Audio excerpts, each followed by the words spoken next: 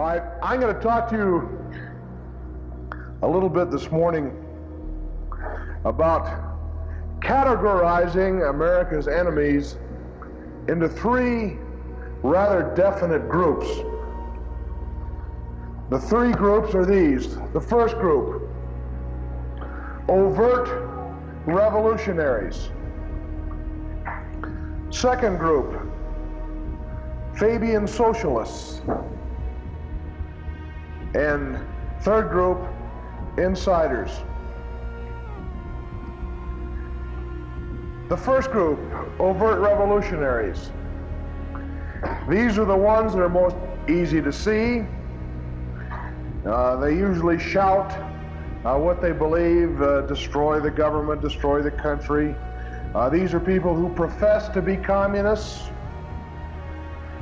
As I say, they're the most easy to spot and they are the least dangerous to the three to the country. Least dangerous of the three groups. A lot of attention is focused upon them but their chances of actually overthrowing this country are zilch.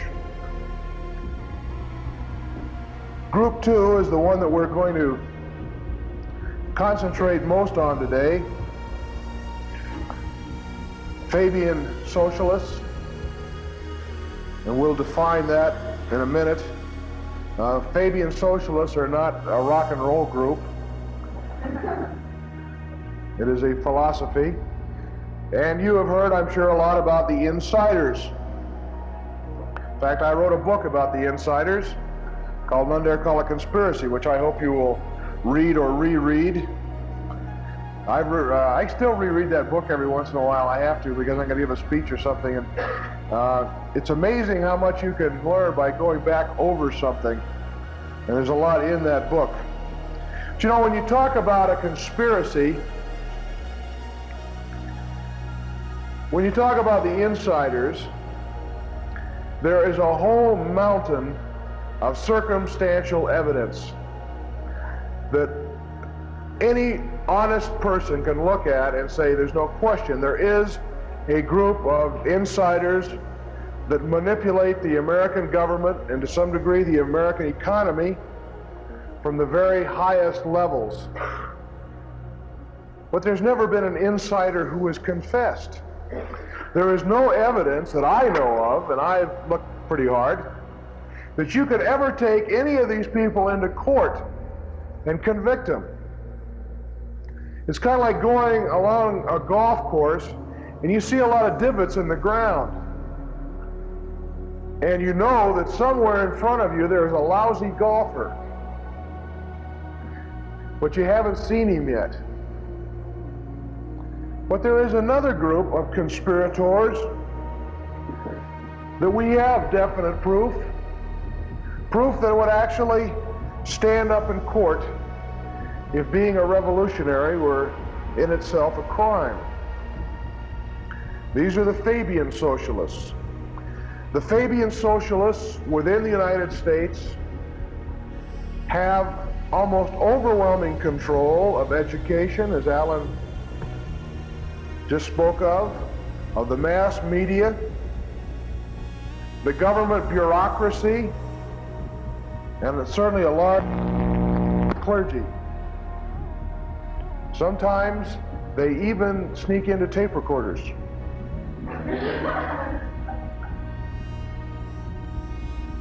Now, most people who are Fabian socialists have never heard the term. When I got out of Stanford University, I was a Fabian socialist. I'd never heard of it. I've talked to people who major in political science in universities and ask them, how much do you know about Fabian socialism? And they say, what's Fabian socialism? If you go to try to find books on Fabian socialism, there have only been two or three ever written. You go to any political science textbook in college and look for the term Fabian socialism, and if you can find it in there, write me a letter. I have never seen one reference to it. And yet the Fabian socialist philosophy has been probably the most important philosophy in the United States over the last 30 to 40 years. Most Fabian socialists consider themselves to be liberals. The socialists found out a long time ago that the word Marxist or socialist has a bad connotation. So they stole, and I mean literally stole, a good word liberal. Many of you may not be aware of the fact that people like ourselves in the last century were liberals. Liberals were people that believed in a limited government and maximum freedom for the individual. The very opposite of socialism. And a little after the turn of the century, the socialists found out they weren't getting anywhere calling themselves socialists, so they started saying, well, we're the true liberals because we're going to build a big government and we'll make that government work for the individual. In other words, it was just a, a total twisting of the real situation. When I got out of Stanford, I thought I was a liberal. I was a Marxist. I taught history at the high school level. I taught my students Marxism. I was the, just exactly what Alan Stang got through telling you about. And yet, and this is an important thing to remember, I did not know what I was doing. A teacher, when he goes to teach in high school or junior high, he can only teach what he's been taught. Before I would give a lecture to my students, I'd go dig out my notes from my history classes at Stanford. And then I'd go tell my students, I can remember some of the things I used to say about how Franklin D. Roosevelt saved the nation, and things that now just made me absolutely cringe. Total lies, but, but I didn't know they were lies when I was teaching them. If some irate parent had come in and accused me of being a Marxist, I probably would have decked him. Because uh, being a Marxist is terrible. I didn't know what a Marxist was. I thought I was a liberal. I was a Marxist. And most teachers today are Marxists and do not know it because they have no idea what Marxism is. And we'll go into a little more of that later. I'd like to go into just a little bit of the history of the Fabian socialist movement. Towards the end of the last century in Europe, there were a number of Marxist parties, and they got into a philosophical disagreement among themselves. And the main bone of contention was whether you could bring communism to a country, whether it had to be through a revolution, or whether it was possible to bring it to a country through the ballot box or through evolution. You might say that there was the, the violent people and the non-violent people. And you had a lot of professor types who were dedicated Marxists and they, they believed in building the socialist state. But the idea of blood in the streets was sort of repulsive to them. You know, these were sort of dandy types. And uh, they said, well, you know, we think that there's another way to bring it about. This philosophy was particularly strong in England, where some of the intellectual types believed that it would be impossible to bring about an armed revolution within England. And they felt that the only way that they could build a communist state in England would be gradually using the ballot box rather than taking up guns and manning the barricades. These people formed a group in 1894 in England called the Fabian Socialist Society. One of the most prominent individuals in the Fabian Socialist Society is a, a world famous playwright, which you may have heard of, and certainly by the time you finish your education, you will have heard of, named George Bernard Shaw. George Bernard Shaw made the statement, and I'm quoting here, as a founder of the Fabian Socialist Society, I am basically a Marxist communist. Now, I would say that's being pretty blunt about it. But these people said, we don't want a revolution. We want to do it slowly, and we'll do it by the ballot box. You may remember uh, uh, George Bernard Shaw wrote a play called uh, Pygmalion, which was later made into a very famous uh, stage play and movie under the name My Fair Lady, which is a delightfully entertaining thing. And I remember taking my wife to see the movie, and as we were leaving, uh, I said to her, I said, well, did you spot the commie line in that? And she about crowned me. That was, we had this wonderful, uh, entertaining evening, and I hear I spotted the communist conspiracy in there. I think she thought that was the, the ultimate in paranoia.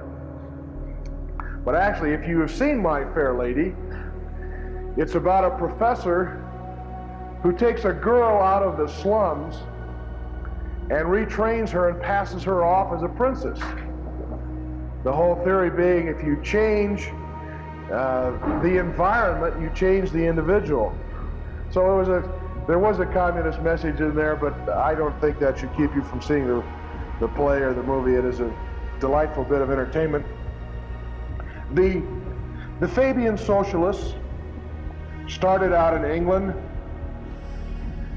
and they made no bones about what they were up to.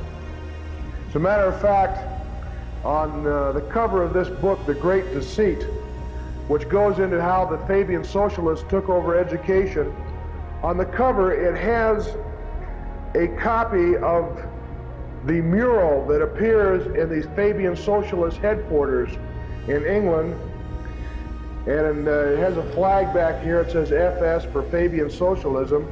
And carrying the flag is a wolf in sheep's clothing. Now, if that's not telling you what they're up to, a wolf in sheep's clothing, I don't know what is. Another very famous member of this Fabian Socialist Society was H.G. Wells. You may remember H.G. Wells very famous historian, also wrote a lot of, uh, I guess maybe he was one of the first science fiction writers. He wrote a book called The War of the Worlds, which was quite famous. But he was a devoted Fabian socialist. And he wrote a book called The Open Conspiracy,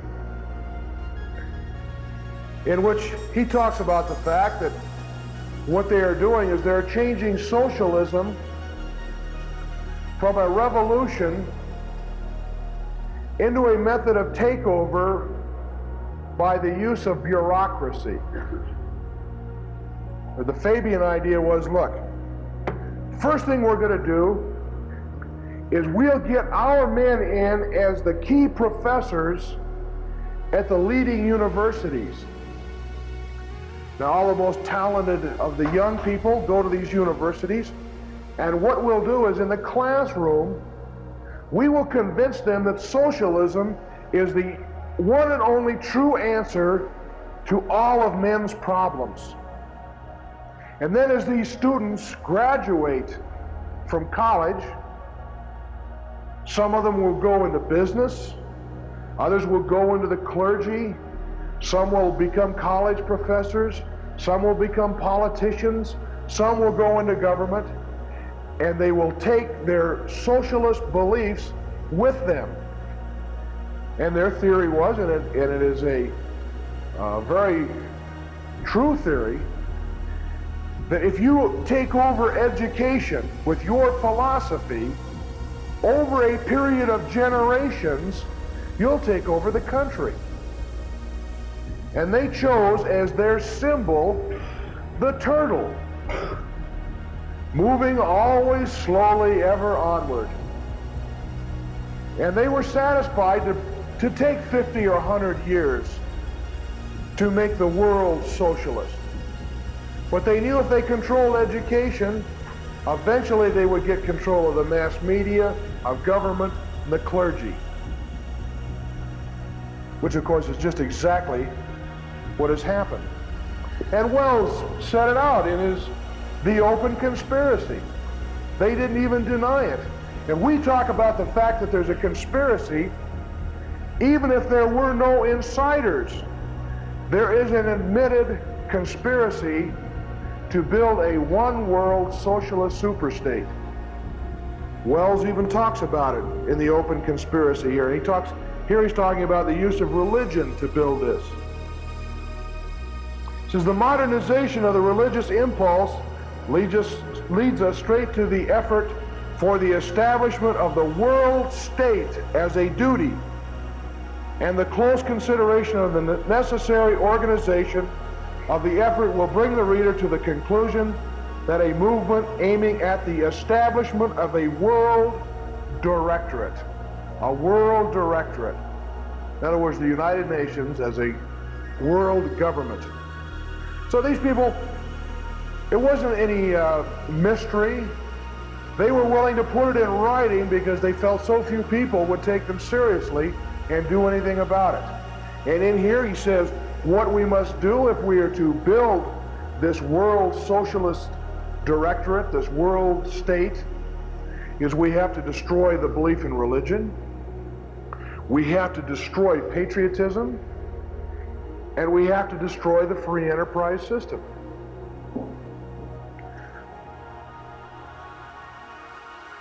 I'm sure everybody here has heard of the Communist Manifesto by Karl Marx, written in 1848.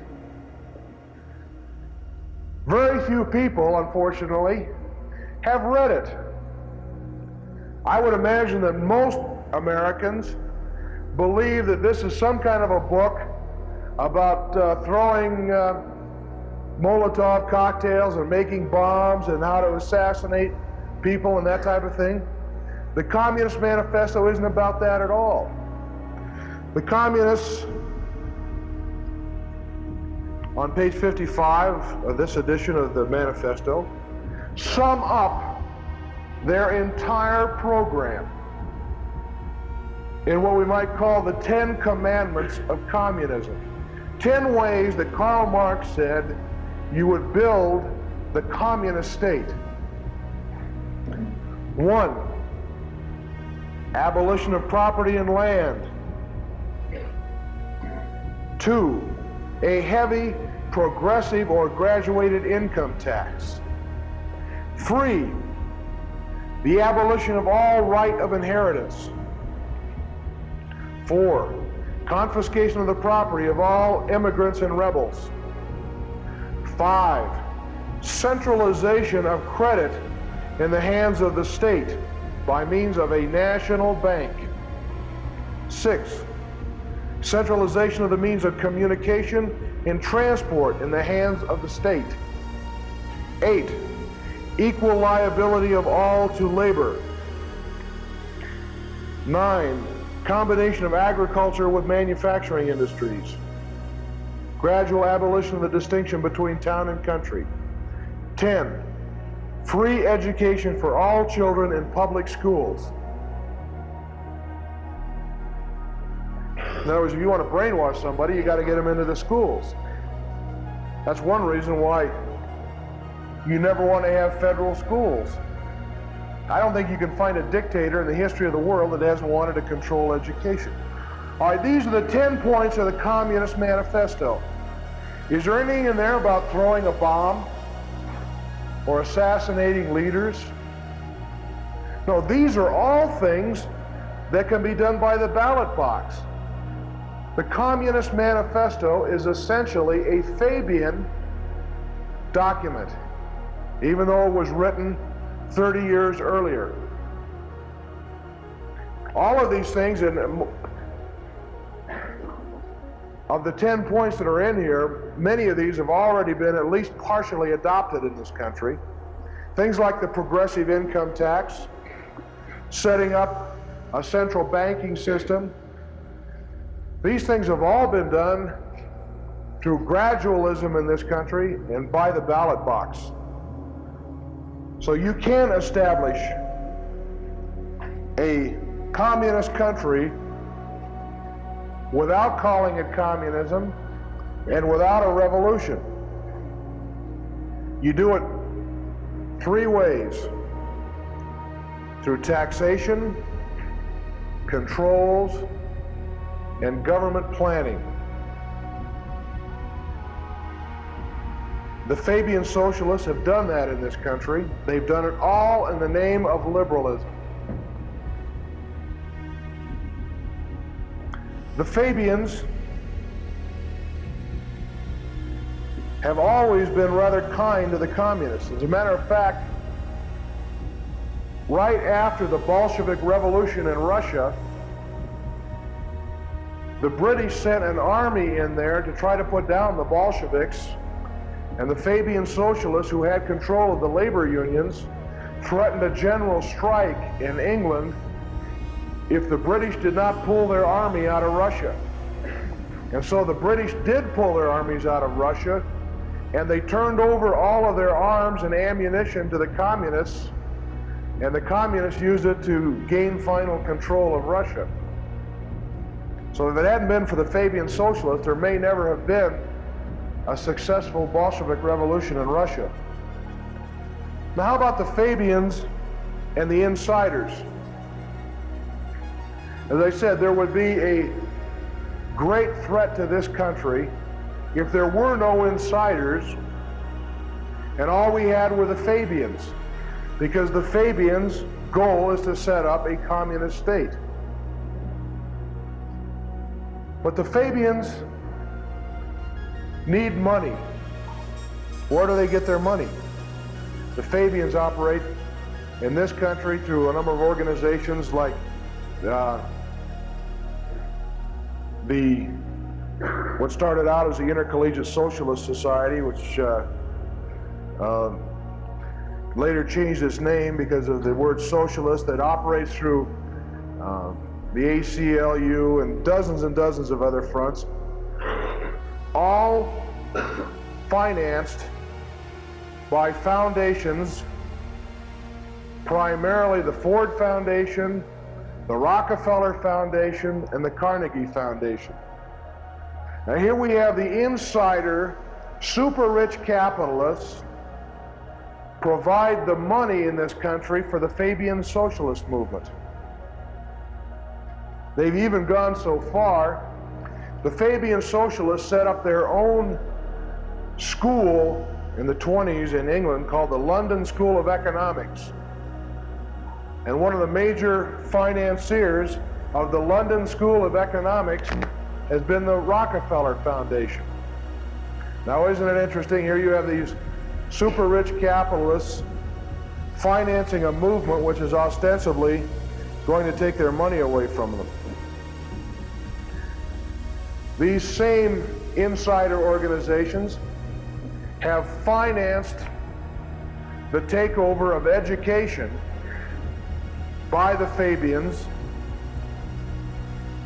including particularly the production of textbooks, the very same thing that Alan Stang just finished telling you about. So you have a very strong interlock between the insiders and the Fabians.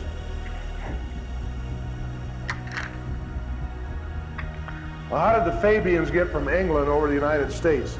Well, there was a even as far back as 1890, there were some Fabian groups that were started in the United States, but the big push really came right after World War I when some English Fabian socialist economics professors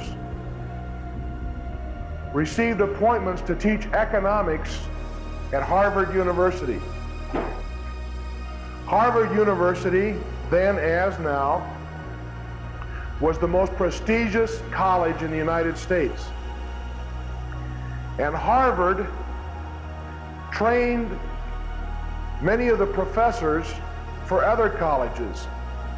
So if you took over Harvard, eventually you would have a tremendous influence in almost every other major university in the United States because Harvard trained the professors for these other schools.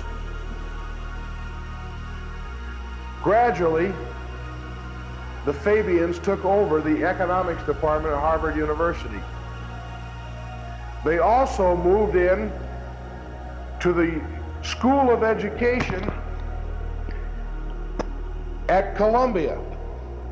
Columbia was for education what Harvard was for these other things. Columbia provided the professors at the other schools of education around the country.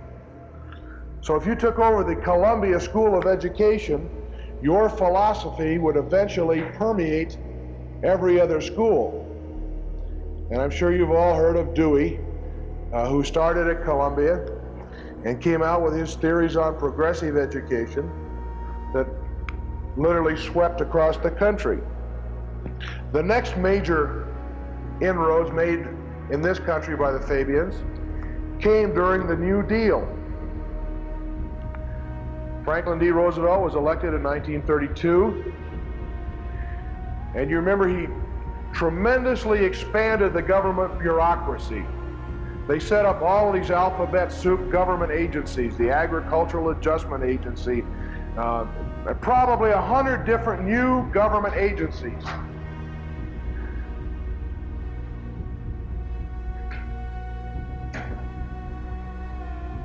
These agencies then hired bureaucrats to run them.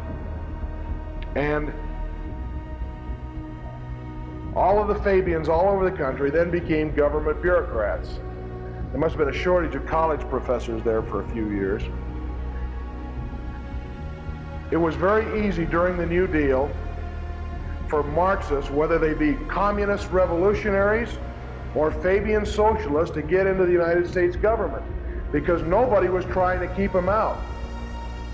And when you read the history of the 1930s in this country, you think that the, the communists, that there must have been millions and millions and millions of communists in this country. Well, there were quite a few in the labor unions and whatnot by the end of the 30s, but it wasn't really so much how many communists there were, it's where they were. They went into the government, the communists, Marxists, and the Fabian Marxist communists all went in under the New Deal. Then something very, very important happened as far as we're all concerned. At about that time, there was a Fabian socialist economist from England named John Maynard Keynes, K E Y N E S. One of the most important people in history, even though most people have never heard of him. Keynes's father was a Fabian socialist. Keynes all his life was promoted by the Fabians. And he came up with a new idea for running an economy. And today, in the classrooms across the country, professors teach, and I was taught in my econ classes, that John Maynard Keynes was a capitalist economist who came up with a system to save free enterprise. Now, ladies and gentlemen, that is just an absolute outright lie. John Maynard Keynes was a, a Fabian socialist. He wrote a letter to a friend in which he said, My new system will be the mercy killing of free enterprise. He bragged that his system would kill free enterprise, and yet Millions of college students in the United States are told that this guy came along to save free enterprise. John Maynard Keynes was partially responsible for the creation of the Federal Reserve System in this country. He was at the founding of the International Monetary Fund and uh, after World War II. And his theories are taught in virtually every economics class in the United States. And he was a Fabian socialist. And we'll remember that a Fabian socialist, by definition, is basically a Marxist communist, but a man who believes that we'll bring it about through the ballot box, through gradual change, instead of revolution. A year and a half ago, Richard Nixon said, in economics, I am now a Keynesian, which is just another way of saying in economics, I am now a socialist, or I am now a Marxist communist. What was Keynes's theory? Well, in a simplified form, it was this. It said if, if business is bad, then the government in its budget should run a deficit. In other words, it should spend more money than it takes in in taxes. And he said that deficit will stimulate the economy and will get it going again. And he said in good years, when business is good and the government is running a surplus, then it should cut government spending. So you stimulate the economy in bad times and you put the brakes on in good times. Well, that's a reasonable sounding theory, isn't it? Of course, if it worked, our economy should be so fantastic now that everybody should be a billionaire because we've run something like uh, 35 deficits in the last 39 years. Now, even if this theory was sound as a theory, in reality it is not sound for the very reason that Politicians like to spend money and they don't like to tax because spending money tends to make voters happy and taxing tends to make voters unhappy. So Keynes's theory of you spend money in, in uh, bad times and you cut spending in good times has turned out to be you spend more money all the time. This causes inflation. I think we're all familiar with inflation. I can uh, just try to think of something out of my own lifetime that might have meaning to you. And uh, I remember going to the movies in 1943 when I was six years old, and it cost me six cents to go to a movie. And then one terrible, horrible day, it went up to seven cents. What's going on? And then a few months later, it went up to nine cents. And we're getting incensed. Terrible. And then it went to 11 cents and 14 cents. I don't know what it is today, but isn't 75 cents to, for a child to go to a movie? Depends, but it, I don't think anybody's going for six cents anymore. And for that, you can thank the theories of John Maynard Keynes. Almost every day, you hear about how terrible inflation is, and Three-fourths of the people in the United States believe that inflation is the country's number one problem. And yet, if you go out on the street and ask people, well, what is inflation? They don't know what inflation is.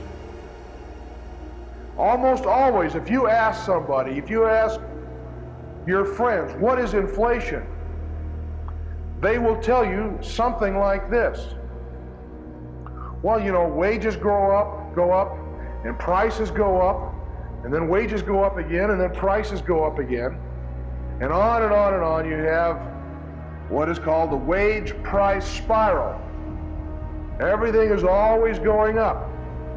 Who's at fault for this terrible wage price spiral? Well, if you talk to a Democrat, he'll tell you it's those labor unions.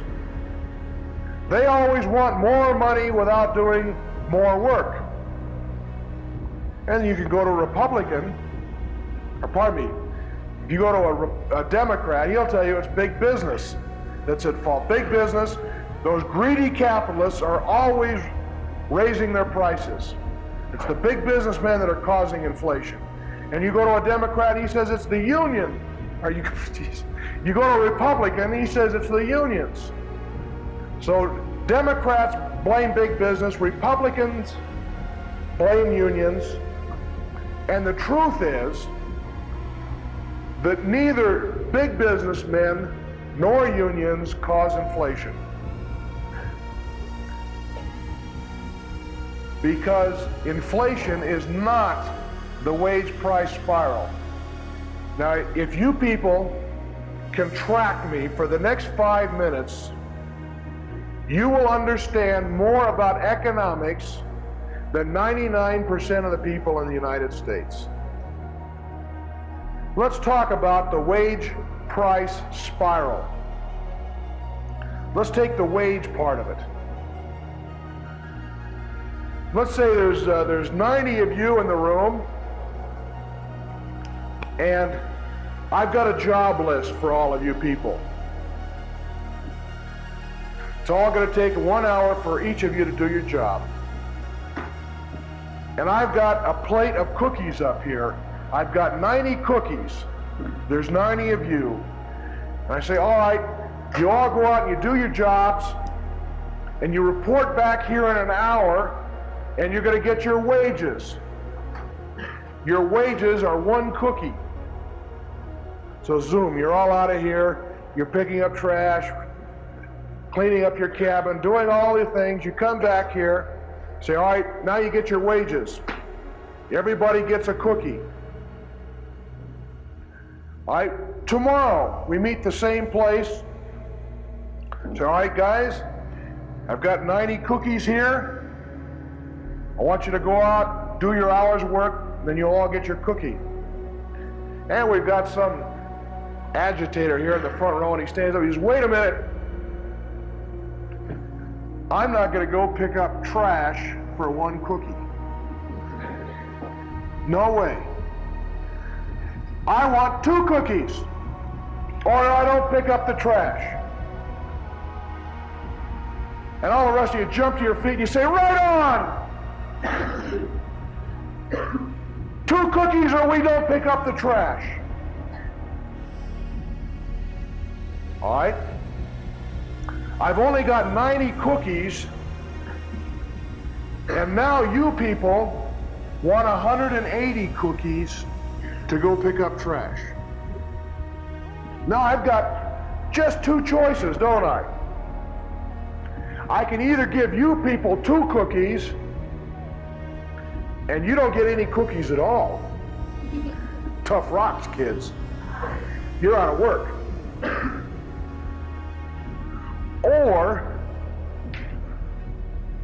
I got to go to the cook in the kitchen and say, you got to bake 90 more cookies. Because there is no way,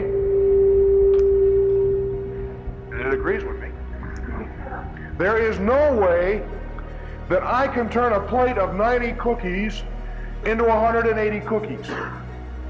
There's only one guy that could do that, and he's gone. I've either got to take some of your cookies away from some people to give you more, or I got to bake more cookies. All right? That's exactly the way things are in the big economy. If you guys want to go from $2 an hour to $4 an hour, if everybody wants a raise in pay, there's just so many dollars to pay the wages in. What happens? If I'm going to pay everybody more money, I've got to have more money to pay it, don't I? I mean, that's not a theory, that's physics. The government increases the money supply. In 1932, there was $156 for every man, woman, and child in the United States in circulation. Since that time, based on the theories of John Maynard Keynes, the government has been printing more and more and more money. Now, today, there is $2,100 in circulation for every man, woman, and child in the United States. In other words, the government went out and baked a lot more cookies.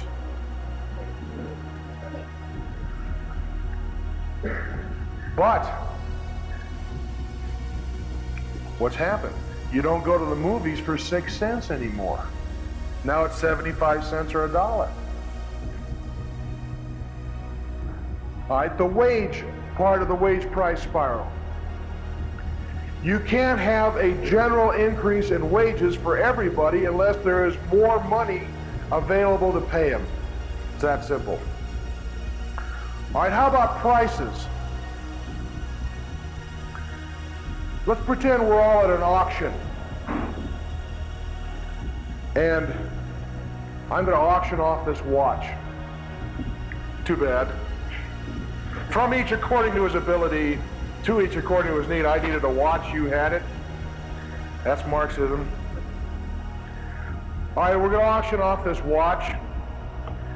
And you all take out your wallet and you count up and see how much money you have that you can bid on the watch and these other things that I'm going to sell you. I'm going to sell you a UN t-shirt.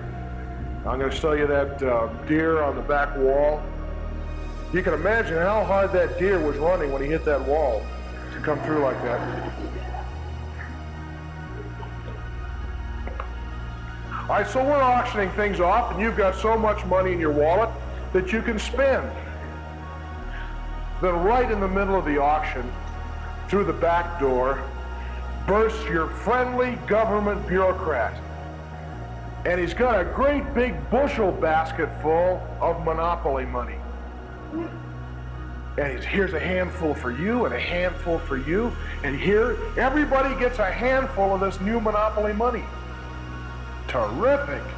You say, geez, I only had uh, $10 before to bid on things, and now I've got 20. Terrific. I'm twice as well off, aren't I? Right? Wrong.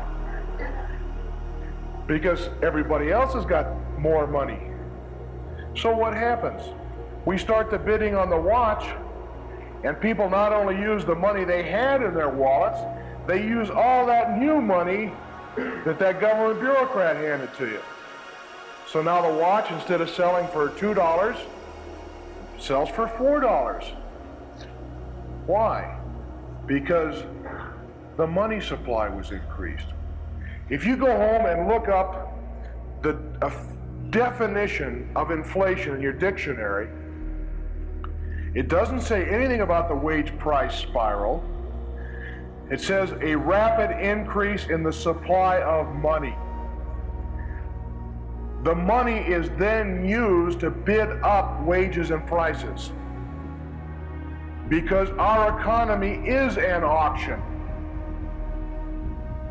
The economy of the United States is a gigantic auction in which millions of bids are made for different goods every day. The cause of what the establishment calls inflation.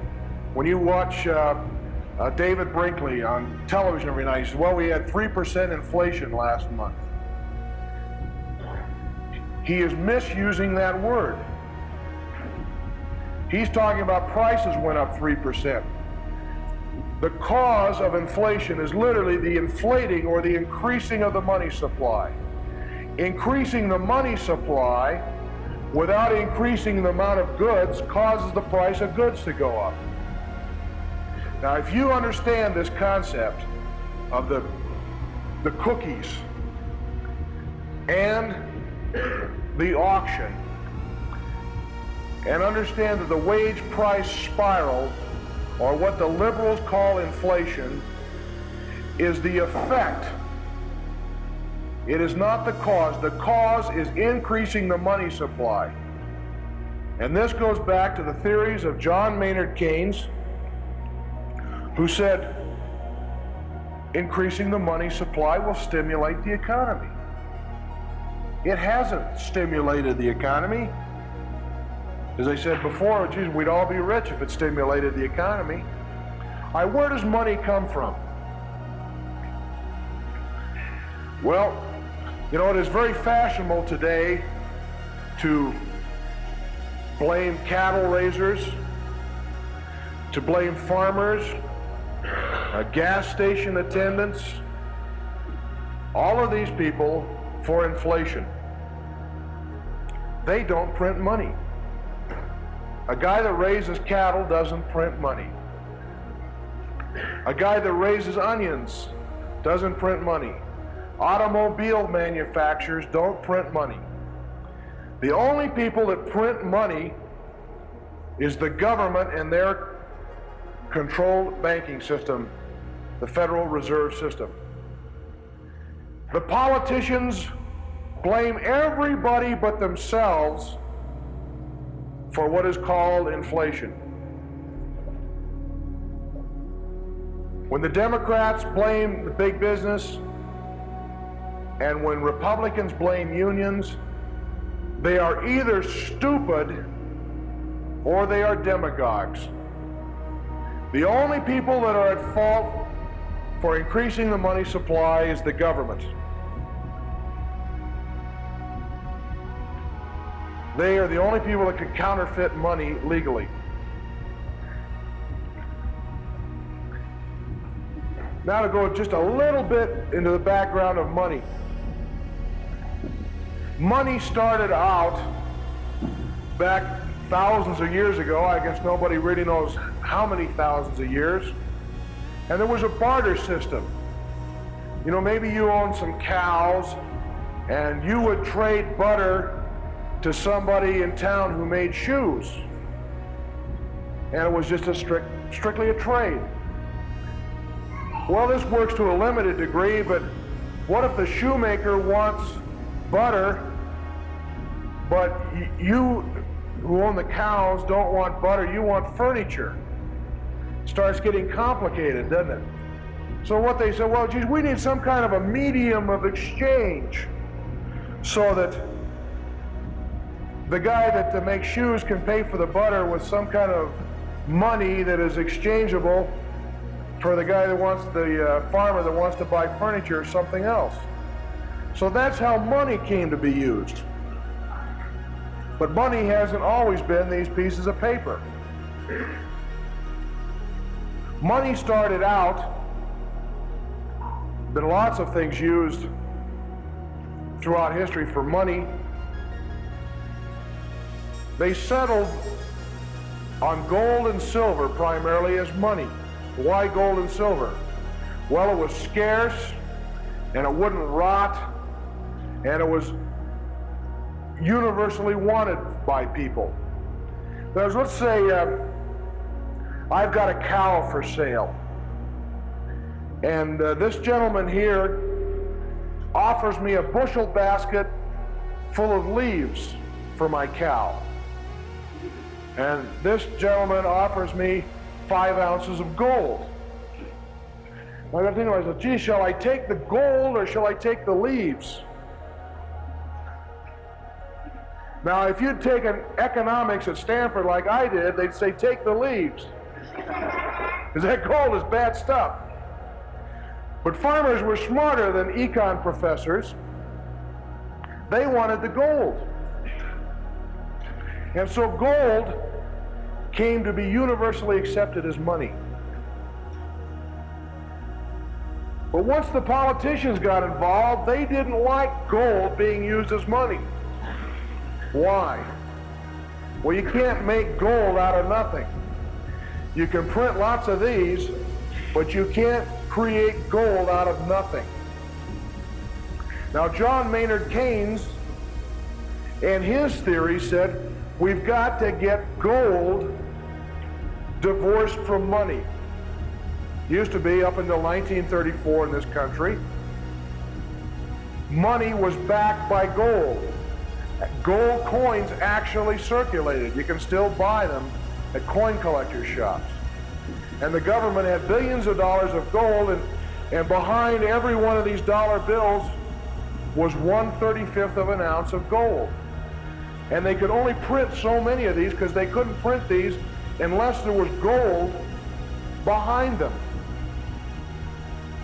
Well, boy, the politicians thought that's just terrible. We can't have inflation if we have to back our money with gold. So Franklin D. Roosevelt called in all the gold.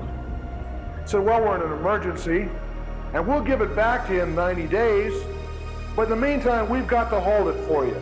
So be patriotic and turn it in. And lots of naive, patriotic people walked down with the gold and gave it to the government. And then Franklin D. Roosevelt said, well, we can't give it back to you till the emergency is over. Now that 1934 emergency is still on. They still haven't given it back. Now they print lots of these. Now the wage price spiral really started going out of control about six years ago when Lyndon Johnson totally removed all gold backing, even in theory, from the dollar. Now how much money can they print? Well, how much paper can they get their hands on? I mean, they can literally uh, make every one of us a millionaire. Probably everybody in this room will be a millionaire in 10 years. You think, wow, man, am I going to live it up? Well, that's true, but probably when you go down to McDonald's for a hamburger, it'll cost you 100,000 bucks. And this is not as absurd as it sounds. You know, I can imagine if I told people back uh, 25 years ago when we were paying six cents to go to the movies, that someday people would be paying 75 cents to go to the movies, they'd have thought I was nuts. There have been many, many examples in history where we have had runaway inflation. It got so bad in Germany after World War I that wives would bring bushel baskets to their husband's factory at noon and get the bushel basket filled up with their husband's morning wages and then would run down to the grocery store to spend the money before it became worth less. New money was printed every day. It got so bad that they didn't even print both sides of the paper because it wasn't worth the ink. And you can find examples of 10 billion mark stamps, equivalent of a nickel stamp. 10 billion marks. Once this thing starts going, it goes and goes and goes and goes. The government creates money in two main ways. One, through the Federal Reserve System, it lets banks increase the money supply. And the other way is by running up the national debt. I don't want to get overly complicated here, but in essence, what happens, suppose that you could go down to Sears and Roebuck and Company and buy everything there that you saw that you wanted, and then run home, go down in your basement, turn on a printing press, and turn out the money to pay for it. Why, my gosh, you could get everything you wanted, right? This is essentially what the United States money system is. The government spends the money, goes in debt, and then creates the money to pay for that debt. If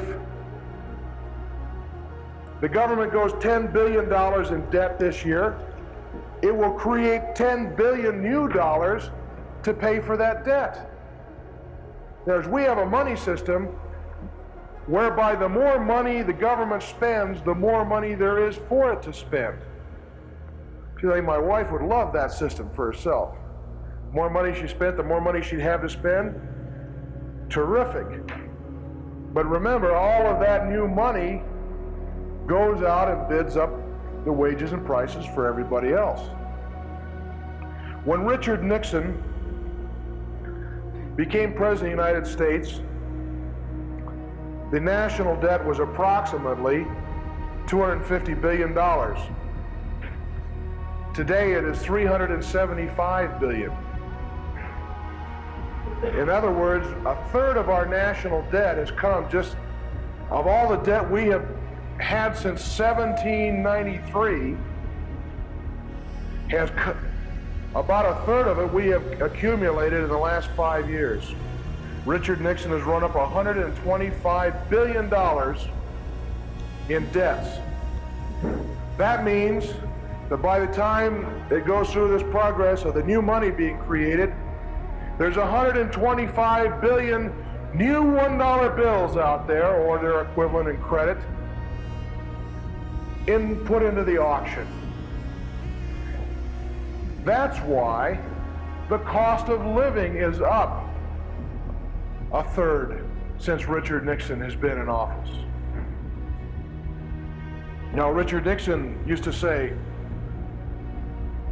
if you run debts, you cause inflation. And then he started running them. He said, well, we'll stop this. We'll have wage and price controls, which he originally said he would never do. And he had a very good analogy. He said to put wage and price controls on an economy when you are increasing the money supply is like bolting down a lid on a boiling cauldron and then stoking the fire with more logs underneath. And that's just exactly what it is.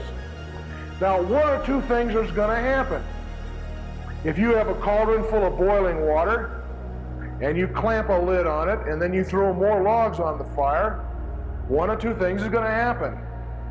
Either you've got to take the lid off after a while and let the water boil over, or the cauldron's going to explode. So what did Richard Nixon do? Well, we had phase one, where he put the lid on, and phase two, where he took the lid off and it all boiled over, and now hamburger that was 65 cents a pound is 85 cents a pound.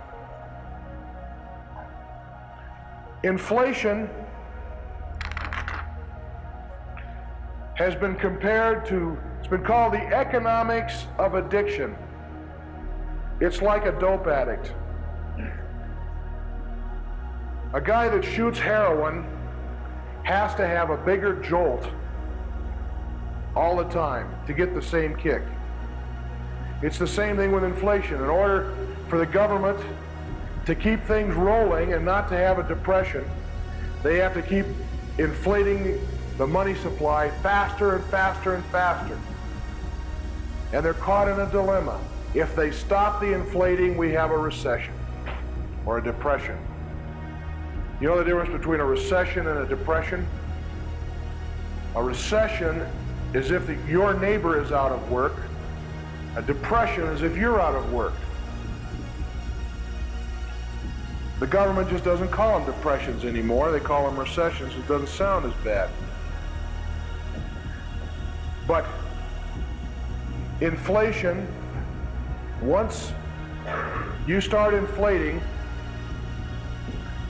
you keep on inflating more and more and more, and things get worse and worse and worse. And then you have people screaming for controls. This is what inflation causes. Causes controls, rationing, and higher taxes.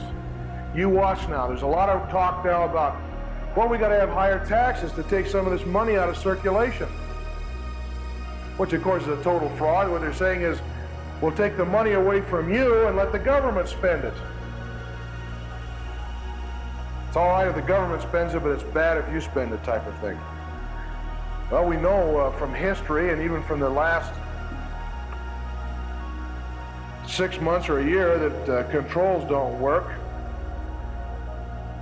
To, to stop inflation, the government has to stop the printing presses. They've got to stop the money machine. They've got to balance the budget. If we do that, we will have a recession. Because everybody now is hooked on the more and more money being put in circulation. Now, a politician looks at it this way. Unemployment is worse than inflation. And I don't care what happens as long as the cauldron explodes after I'm out of office. Pass it on to the next guy. Try to keep the thing going on some sort of a basis until I'm out of office. That's why these Fabian socialists that came in under Franklin D. Roosevelt with the Keynesian system knew that once they got the country started on it, it would be almost impossible to get us off. Even if you change administrations and the Democrats go out and the Republicans come in, you don't start with a clean slate. The new guy inherits all of the problems that the old guy had.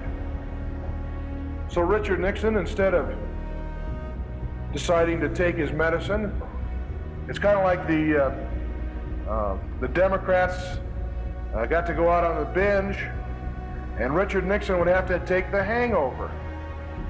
And Nixon said, I don't want to take the hangover. I'm going to go off on another binge. Let the next guy have the hangover. And this goes on and on and on until eventually the thing destroys itself. So, as far as what you people can do to understand what is going on, you can make tremendous progress in recruiting. I don't think that the John Birch Society has ever had as great an opportunity for recruiting as it has right now. Because the wages and prices going up, what people think is inflation, is hitting almost everybody. These shortages, which are directly related to inflation, are hurting everybody. Now people are willing to listen. Now almost everybody knows something's wrong. And we can explain to them what is wrong. I have a very close friend who majored in economics at Stanford. He's a millionaire, he's a, he's a major contractor. He builds 500 unit apartment buildings. And he told me the other day, he said, I did not understand money until I joined the John Birch Society. Now, people want to understand money. So we have a tremendous opportunity. It is the Fabian socialists, the people who admit that they are a conspiracy, to set up a socialist world who gave us the Keynesian economics that have caused the runaway inflation that we're having now and the shortages, the scarcities that we're having. There are two books that I would heartily recommend that you read. The most important book, I think, and when I was just beginning in the conservative movement, I read this book four times. It's called Keynes at Harvard. It's put out by a group of Harvard alumni. It is not the easiest book to read, but there is nothing in here that is beyond your comprehension. It is just a fairly small type, and there's a whole lot of names in here and whatnot. But I think this is just about the most important book there is to read. Another book, a great handbook for the Fabians, is Fabian Freeway by Rose Martin, which goes into the history of the Fabians. Particularly in the United States, the organizations which they control, the people that have been uh, very important in the Fabian movement. I haven't thrown a lot of names at you this morning because I don't think that that's all that important. It's their philosophy that is important and how successful they've been. I'll throw it open to questions now, if, uh, if everybody's sufficiently confused. Yes?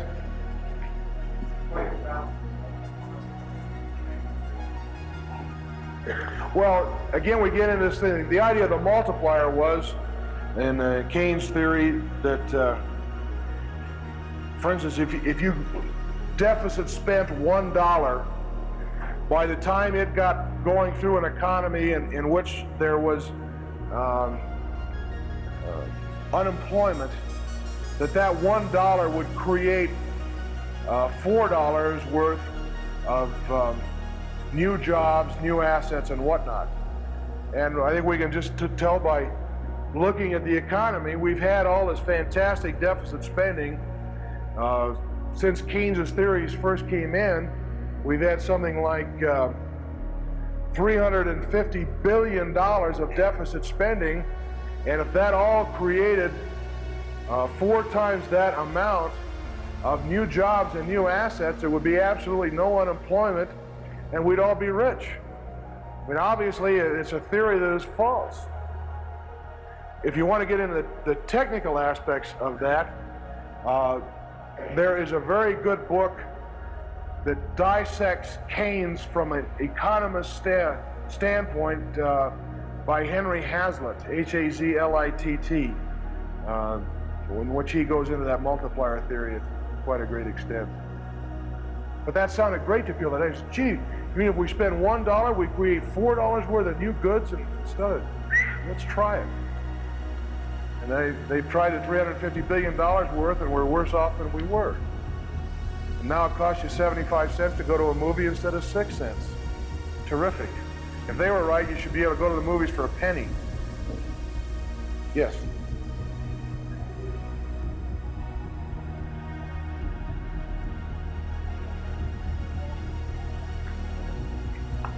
Okay, I will try. Gold acts as a brake upon the politicians. If they have to have a 35th of an ounce of gold for every dollar they put in circulation, then they are limited as to the number of dollars they can put in circulation by the amount of gold that they have. In other words, if you had um, a billion ounces of gold, uh, you could only print 30 times that, 35 times that amount of money. But what they have done, they said, well, gold has nothing to do with money. And when you say that gold or silver has nothing to do with money, that means they can print as much money as they can find paper. And they seem to be able to find a lot of paper. Politicians hate gold and silver because that keeps the politicians honest. It restricts the amount of money they can spend. And they don't want to be restricted because they stay in office by going out and buying votes indirectly with government money.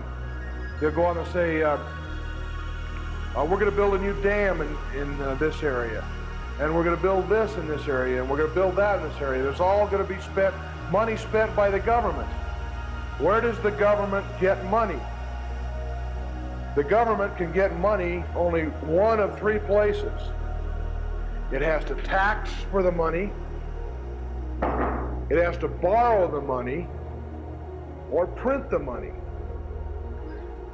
Now, when they borrow the money, when they borrow it through the Federal Reserve System, it is the same as printing the money.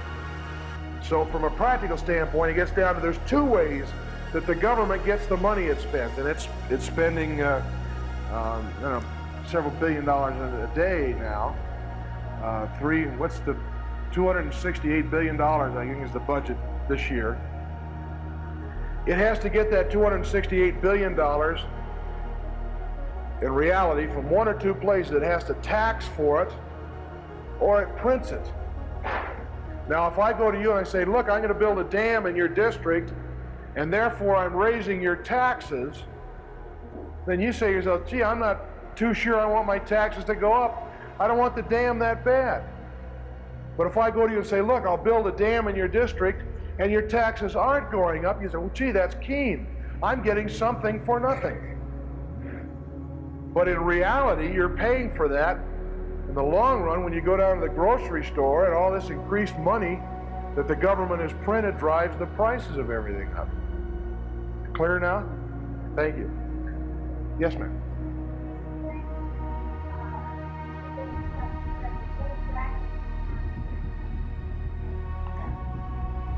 All right, you get into a sort of a complex. The question is, why do we have a recession if we stop the printing presses? You get into a kind of a complicated economic uh, thing there called malinvestment. During, and I'll try to see if I can simplify that, during an inflationary period, a lot of businessmen go out and, and let's say uh, I own a factory and inflation is going on, business looks good. So I go to the bank and I borrow money to expand my factory. But re- let's say I make widgets. You know, that's the every Econ One class you make widgets. I I think well I'm going to expand my factory, and I'm going to borrow the money and make make more widgets. Then when the government stops printing the money, then that new demand for the widgets doesn't exist. So I have overexpanded. Businesses during a, an inflationary period tend to overexpand, and then when the inflation stops, they're caught and they, they can't sell that extra stuff they geared up for, and so then there's unemployment. So it's a that's why it's a vicious circle. It's like a a heroin addict should never take that first shot. You should never take that first shot of inflation. Because once you start on this thing, when you stop it, you're going to have a reaction to it. Now, obviously, the, the sooner you stop, the better off you are because it's going to be worse if you do more of it. You know, if you got a, uh, a $10 a day habit, you got to kick that habit. That's not as bad as trying to kick a $100 a day habit or a $200 a day habit. So the longer you go, the worse it is. But people, the tendency of people and politicians is to say, well, uh, we'll just have some more of the good stuff and we'll forget the, the bad stuff. And this is why the, the Keynesian theory was you print more money in uh, bad times and you uh, stop it in good times. But in the practice, they just print more. They print more money in bad times and more money in good times, both. And it goes on and on and on until eventually we're going to get to the point where, uh, uh, you know, a hamburger at McDonald's is going to cost you $100,000. Maybe you ought to buy a McDonald's franchise, yes.